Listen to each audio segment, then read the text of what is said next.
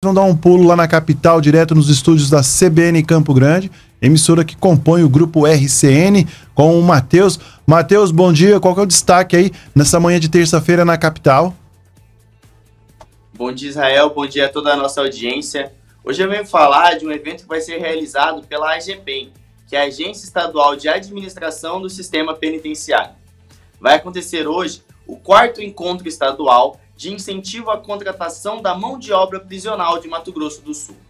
Esse evento vai reunir autoridades e o empresariado local com o objetivo de fomentar oportunidades de ocupação à massa carcerária, além de demonstrar as vantagens da contratação da mão de obra prisional e incentivar o interesse de novos empregadores.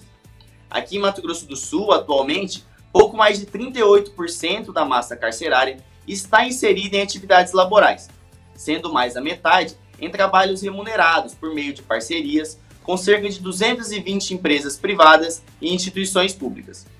Pela primeira vez, esse evento vai acontecer lá na cidade de Corumbá. Ele começa às 6 horas da tarde e vai ser realizado no Centro de Convenções do Pantanal Miguel Gomes, no Porto Geral de Corumbá. O evento também vai ser transmitido pelo Instagram para quem quiser acompanhar, lá no Instagram da AGPEN, que é arroba MS, underline oficial. AGPEN, underline MS, underline oficial.